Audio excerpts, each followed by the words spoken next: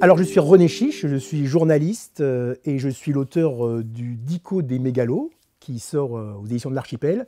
Alors le Dico des mégalos, qu'est-ce que c'est? Bien C'est un livre qui, comme son titre l'indique, est un dictionnaire, mais c'est un dictionnaire à la fois informatif, caustique et divertissant qui essaye de montrer la mégalomanie chez une cinquantaine de personnalités. Donc euh, ça va de A comme euh, le milliardaire russe Roman Abramovich ou Triardisson, jusqu'à W en passant par Kenny West euh, ou la diva de la mode Anna Wintour, mais en passant par plein d'autres personnalités de notre époque, comme des hommes politiques comme par exemple notre président Emmanuel Macron, Jean-Luc Mélenchon.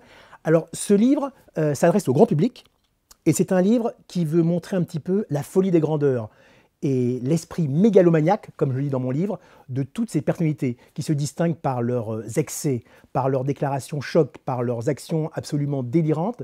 Et toutes ces personnes vivent donc sur la même planète, la planète mégalo.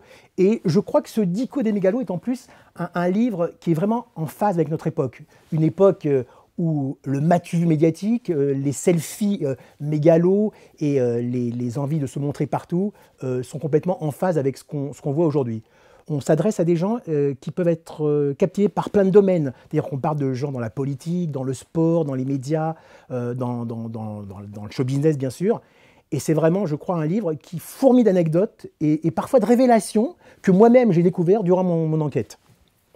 Voilà, alors sans rentrer dans les détails, euh, je, pense que par exemple une personnalité euh, comme Silvio Berlusconi euh, est une personnalité qui s'est illustrée par ses exploits de mégalo, mais dans tous les domaines, à la fois dans son action politique, mais aussi dans sa vie personnelle, ou alors Lady Gaga, Madonna, mais aussi même Jean-Luc Mélenchon, qui est un petit peu dans l'air du temps aujourd'hui, même, pas un peu beaucoup d'ailleurs, donc qui se distingue par ses, actions, par ses faits, par ses, propos mégalos.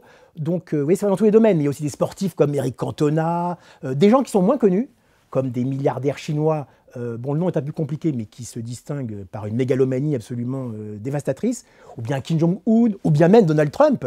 Donc, mais ce qui est intéressant, c'est que ce sont des véritables mini-stories que je raconte par rapport à ces personnalités. Ce sont des portraits, mais en même temps des portraits où tout est axé sur leur mégalomanie, et on se rend compte que c'est absolument délirant.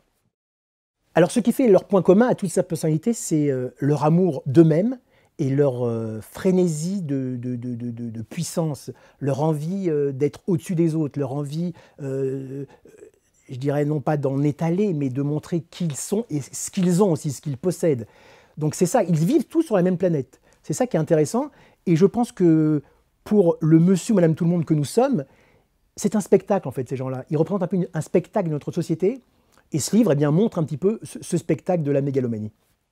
D'ailleurs, dans mon livre figure euh, l'un de ceux qui a su commercialiser à outrance la mégalomanie aujourd'hui, c'est Mark Zuckerberg avec Facebook, qui est quand même le roi de la mégalomanie, mais non seulement avec son réseau social Facebook, mais aussi avec ce qu'il a accompli lui-même dans sa vie, et je le démontre avec des exemples concrets, des phrases, des exemples, et donc, effectivement, c'est vraiment un livre qui colle à l'ère du temps, mais qui en même temps, encore une fois, est plein d'informations véridiques. Hein. Ce n'est pas un livre, euh, un pamphlet ou un livre un petit peu gadget. C'est vraiment un livre journalistique et aussi un peu un exercice de style. Je ne pense pas qu'on est tous mégalos. Je pense que les mégalos, ils ont quelque chose en eux qui les distingue. Je dirais c'est une race à part. Et, c'est vrai que quand même les mégalomanes, les grands mégalomanes aujourd'hui, euh, sont quand même des, gens qui se distinguent aussi par leur puissance financière, leur, euh, leur puissance matérielle. Les mégalos dans la vie quotidienne, pas vraiment. Il y en a, a, a peut-être certains, bien sûr. On a peut-être des amis qui sont un peu mégalos ou qui ont un égocentrisme un petit peu au-delà de la norme.